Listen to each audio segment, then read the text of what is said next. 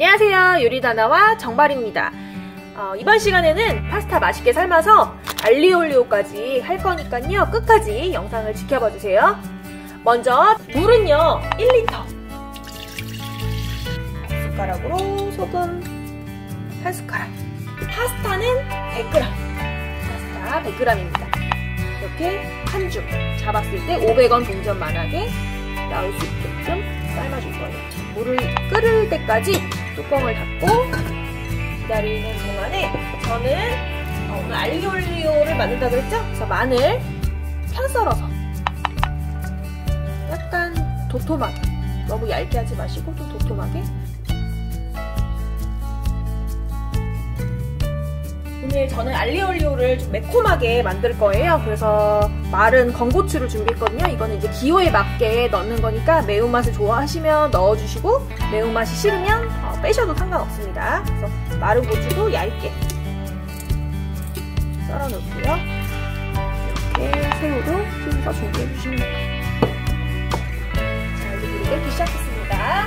이렇게 물이 끓으면 면을 넣어주시고요. 젓가락으로 저어주기.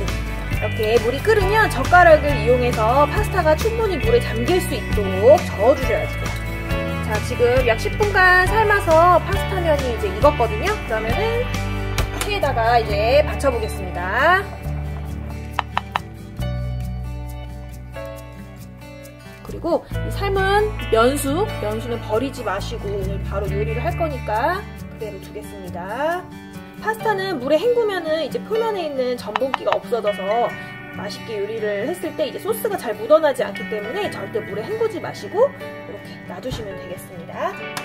그리고 이제 알리올리오를 해볼게요. 자, 팬에 올리브유, 마늘이 잠길랑 말랑 할 정도의 기름을 넣어주시고요. 자, 여기에다가 약간 편으로 썰어놨던 마늘, 마늘을 넣어주세요. 자, 불이 너무 세면은 안 되고요. 중간 불에서 마늘이 노릇노릇 해질 때까지 익혀주세요. 마늘이 노릇노릇해졌으면 여기다가 이제 새우, 새우를 넣어주시고요. 여기에 마른 고추, 마른 건고추.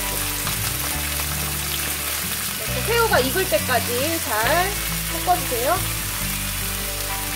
그러면서 여기다가 후추가 있으면 후추도 약간 넣어줄게요.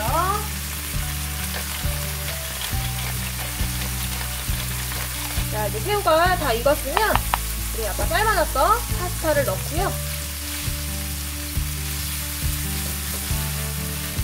잘 섞어주세요.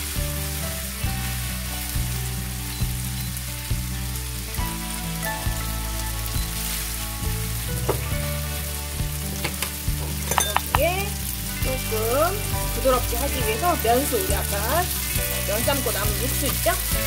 면수를 약간 넣어주세요. 마지막으로 파마산 치즈가루가 혹시 있으면은 파마산 치즈가루도 뿌려주시고요. 자 이제 마지막으로 소금을 소금을 약간 해주세요. 자 우리가 접시에 담을 때는 젓가락에 잘 돌려서